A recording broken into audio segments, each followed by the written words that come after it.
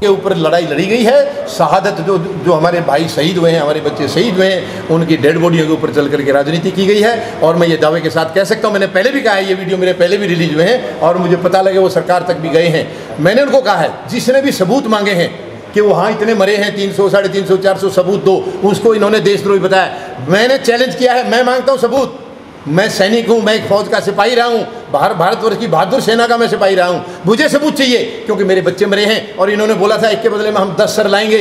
मुझे 440 dead body चाहिए मुझे। मुझे 440 सबूत दिखाइए और मुझे देशद्रोह द्रोही घोषित करना है तो सामने आइए, लड़ाई लड़िए। देशद्रोही ये है या मैं हूँ? हमने सरहद पर सेना की बॉर्डर की रक्षा की है। देशद्रोही हम नहीं है, देशद्रोही ये हैं जो उन्हीं सैनिकों के साथ गद्दारी कर रहे हैं, जो इनकी रक्षा कर रहे हैं। हम इनकी रक्षा कर रहे हैं और ये हमारी लाशों के ऊपर चल करके ये राजनीति कर रहे हैं। बहुत दुर्भाग्यपूर्ण स्थिति है। देश इनको माफ़ नहीं करेगा। देखो एक्चुअली बहत्तर साल हो गए हैं देश को आज़ाद होकर के। आज़ाद तो एक्चुअली आज भी नहीं है हम लेकिन काफ़ी समय आज़ाद जो बताया जा रहा है।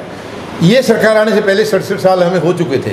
पाँच साल जो इस सरकार के निकले हैं इससे गंदे गंदा पीरियड इस देश में कभी नहीं निकला है। इतना झूठा प्रधानमंत्री आज तक हमने नहीं देखा है। इतनी झूठी सरकार आज तक नहीं देखी है। इससे पहले मैं ये नहीं कह रहा हूँ कि बढ़िया चले हैं जवाबदेही सरकार हमें कोई भी आज तक मिली नहीं, जवाबदेही जो जो जनता के प्रति जिसकी जवाबदेही हो। लेकिन इतने झूठे भी कोई नहीं थे, भ्रष्टाचार उन्होंने भी किया है, लेकिन दादागिरी नहीं। ये तो टोटल डिक्टेटरशिप चला रहे हैं। आज देश को कॉन्ट्रैक्ट के तौर पर चलाया जा रहा है। मैंने पाँच साल के लिए कॉन्ट्रैक्ट पर देश को ले लिया। अब मैं इसको जैसे मर्ज़ी लूटूँ, मुझे कोई पूछने वाला नहीं है। सिस्टम नाम की कोई चीज़ आज देश में नहीं है। संवैधानिक संस्थाएँ सारी ख़त्म कर दी गई हैं।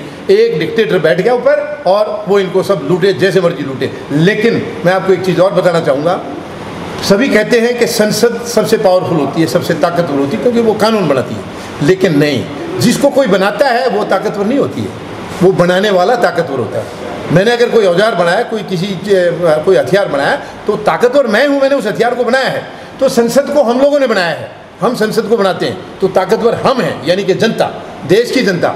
एक करोड़ जनता देश की वो जन संसद है। संसद से बड़ी जन संसद। बिल्कुल। जब कानून ठप हो गए देश की सारी संवैधानिक संस्थाएँ खत्म हो गई हैं तो एक आखिरी जो पावर है सुपर पावर जो सुप्रीम कोर्ट से भी ऊपर है वो है जन संसद।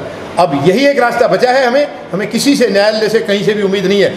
हम जिस दिन से ये 19 मई को जो आखिरी चुनाव था और जो भाषणों में चीज़ें कही जा रही थी फिगर भारतीय जनता पार्टी की प्लस इनके सहयोगियों की। जो फिगर कही जा रही थी वही फिगर इनके बिकाऊ मीडिया ने उस दिन 19 मई को सारे का सारे वो दिखा दिया। तो वहीं हमें मालूम हो गया था कि अब वही होने वाला है जो जनता को डर था। तो हमने उसी दिन से हाँ। कोशिश की थी कि ये गिनती रोकी जाए।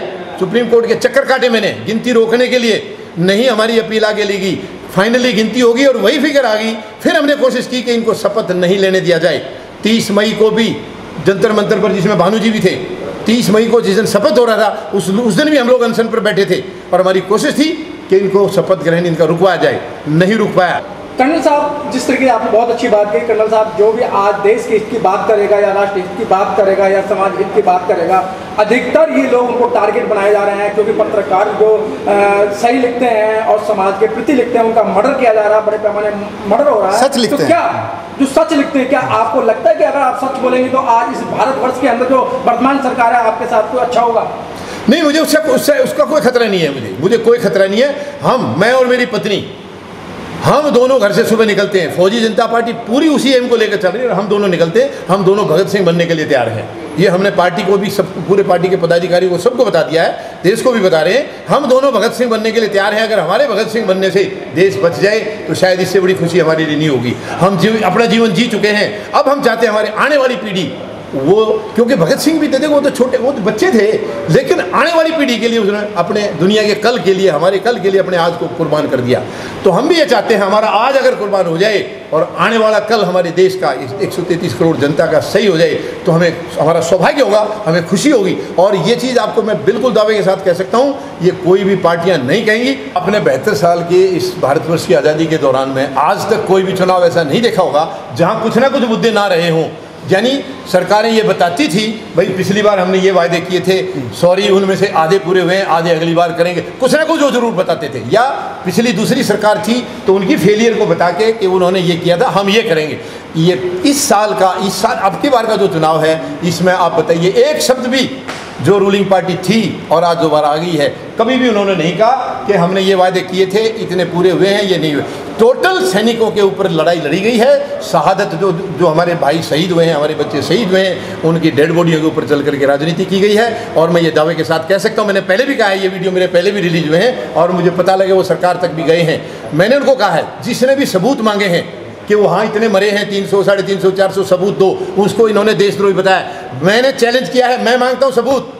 मैं सैनिक हूँ, मैं एक फौज का सिपाही रहा हूँ, बाहर भारतवर्ष की बहादुर सेना का मैं सिपाही रहा हूँ। मुझे सबूत चाहिए, क्योंकि मेरे बच्चे मरे हैं, और इन्होंने बोला था, एक के बदले में हम दस सर लाएँगे। मुझे 440 डेड बॉडी चाहिए मुझे। मुझे 440 सबूत दिखाइए, और मुझे देशद्रोह द्रोही घोषित करना है तो सामने आइए, लड़ाई लड़िए। देशद्रोही ये है, या मैं हूँ? हमने सरहद पर सेना की बॉर्डर की रक्षा की है। देशद्रोही हम नहीं है, देशद्रोही ये हैं, जो उन्हीं सैनिकों के साथ गद्दारी कर रहे हैं, जो इनकी रक्षा कर रहे हैं। हम इनकी रक्षा कर रहे हैं और ये हमारी लाशों के ऊपर चल करके ये राजनीति कर रहे हैं। बहुत दुर्भाग्यपूर्ण स्थिति है। देश इनको माफ़ नहीं करेगा।